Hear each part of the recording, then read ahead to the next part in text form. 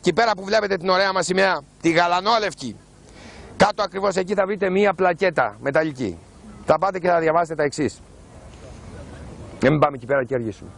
Λέει ότι στο σημείο αυτό, το ντάδε του Μάη του 1944, 42 ξέρω εγώ, 41, δύο Έλληνες, ο Μανώλης Γλέζος και ο Τάδε Σάντας, ο Απόστολος Σάντας, κατεβάσανε την γερμανική σημαία, τη σβάστηγα, από εδώ.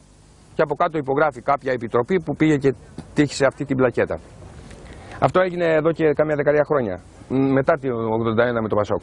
Θέλω λοιπόν να σας πω, θέλετε να έχετε ένα δείγμα του σε τι υποκουλτούρα, σε τι εθνική και πολιτική και κοινωνική παρακμή ζούμε. Σε τι βαθμό έχουμε χάσει το σωστό μας προορισμό και τη σωστή μας κίνηση και δημιουργούνται όλα αυτά τα παράφαινόμενα και τα παρενέργειες που δεν μπορούμε να τις εξηγήσουμε δεν μπορούμε να τις εξηγήσουμε γιατί οι Ευρωπαίοι αυτή τη στάση, γιατί δεν μας ξέρει κανείς σε όλο τον κόσμο, γιατί δεν ακούγονται ούτε για Σκοπιανά κτλ. Θέλετε να πάρετε δηλαδή μια εικόνα συνοπτική, μια περγαμηνή, έναν τίτλο του που έχουμε καταντήσει; Θα πάτε να διαβάσετε αυτή την πλακέτα.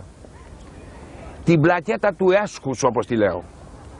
Δεν υπάρχει, δεν είναι το χαρακτηριστικότερο δείγμα εκείνης της νοοτροπίας που λέει πως οι σύγχρονοι βασιλιάδες είναι χειρότεροι από τους στρατιώτες του Αλέξανδρου του Μακεδόνα. Τι θέλω να πω. Θέλω να πω ότι μεγαλοποιούμε πράγματα που, δεν έχουν, που έχουν περιορισμένη αξία εκεί που απαξιώνουμε τα πράγματα που είναι πολύ μεγάλα και θέλουμε να τα δούμε. Τι θέλω να πω πιο συγκεκριμένα κύριε συνάδελφοι; Ο Σάντας και ο Γλέζος είναι δύο ήρωες. Δεν χωρεί καμία αμφιβολία. Είναι δύο ήρωες, έκαναν μια ωραία πράξη, μια τολμηρή πράξη, ανεβήκαν απάνω, ξεσχίσανε και πατήσανε τη σβάστηγα, αυτό το μαύρο σύμβολο που πλάκωνε τότε όλη την Ευρώπη.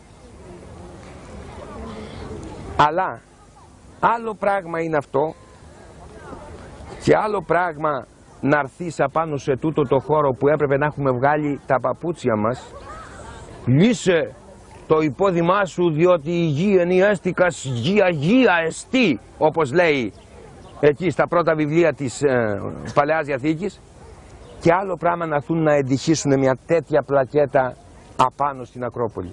Ποια είναι η Ακρόπολη; Ποια είναι η Ακρόπολη; Και σαν το Σάντα και το Γλέζο, τους ήρωες, μεγάλη τους τιμή, και να τους στήσουν μνημεία όπως, οπουδήποτε και να τους γράψουν και ιστορίες όπως τον έχει γράψει και η ιστορία, υπάρχουν χιλιάδες Έλληνες που όχι μόνο αντισταθήκανε, κάνανε αντίσταση και τι σημαίνει αντίσταση και στην κατοχή το ξέρουμε, ε. αυτή είναι που, που γκρέμισε τους Νατσί.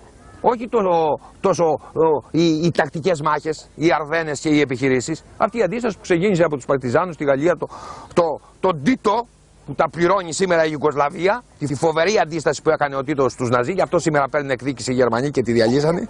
Την αντίσταση που κάναμε εμείς. Πόσες χιλιάδες Έλληνες μπήκανε σε αυτό το συνειδητό δρόμο και όχι μόνο κάνανε μια ηρωική πράξη, αλλά την πληρώσαν και με τη ζωή τους και τους εκτελέσανε εδώ και εκεί. Ή και το μεγάλο έπος, το αλβανικό έπος, το 41.